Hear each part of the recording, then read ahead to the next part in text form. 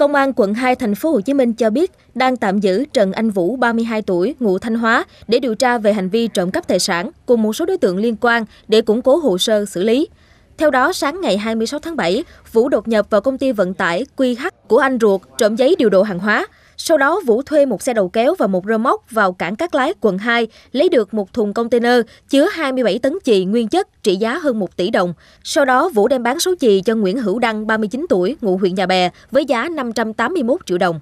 Qua truy xét, lực lượng chức năng quận 2 xác định được Vũ là người thực hiện vụ trộm nên tiến hành truy bắt vào chiều ngày 30 tháng 7 khi Vũ đang ở huyện Hóc Môn. Tại công an, Vũ khai vào thành phố Hồ Chí Minh làm việc cho anh ruột mình là giám đốc công ty vận tải QH. Do mê cờ bạc, bỏ bê công việc nên Vũ bị anh trai đuổi việc. Vũ còn khai nhận từng lấy cắp một thùng container chứa hạt điều bán hơn 400 triệu ở Bình Phước nhưng chưa bị bắt và trộm một chiếc xe SH của một người bạn. Ngoài ra, nghi phạm từng có hai tiền án về tội trộm cắp tài sản.